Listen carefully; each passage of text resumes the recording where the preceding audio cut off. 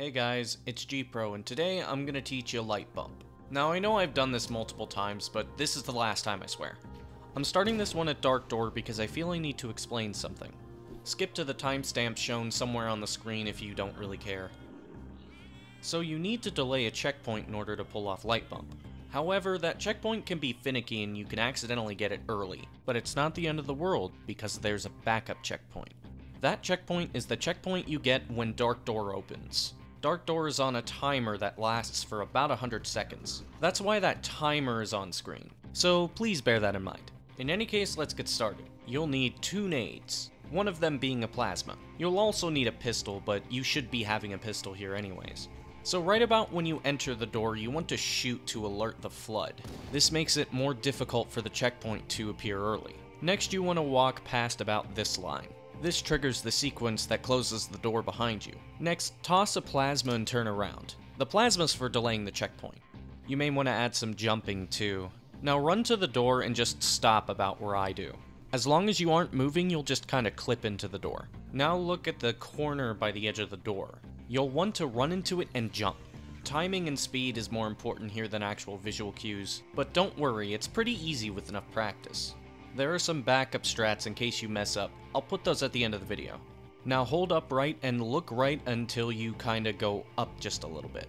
Once you prop up, just hold forward until you reach a corner. Here's the door bump lineup.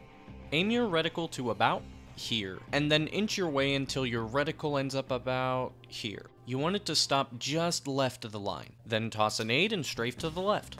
Now, jumping into the light is a bit weird, so let me try to explain as best I can. You want to jump to where it looks like you're actually landing on the thing right next to the light. If you're too far right, you'll just bounce out. But it's okay, you'll get it with enough practice. Once in the light, keep holding forward and look to the left. You'll get the checkpoint you were delaying earlier. If you didn't and you were fast enough, you'll get the dark door checkpoint here. It may take some time to appear though.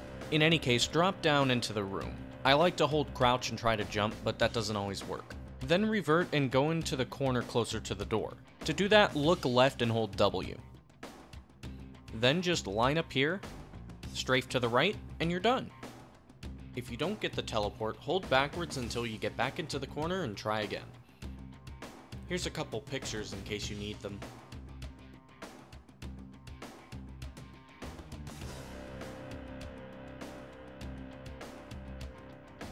Now if you fail jumping into the corner before door bump, one of three things can happen. Getting stuck underneath the pocket, getting stuck in the pocket, or just falling out of bounds. If you get stuck under the pocket, jump and hold crouch. You may also need to hold jump. If you just get stuck inside, crouch.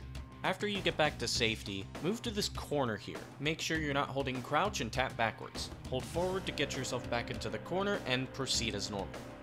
That about wraps it up. Thanks for watching, and I hope you guys learned something. Peace.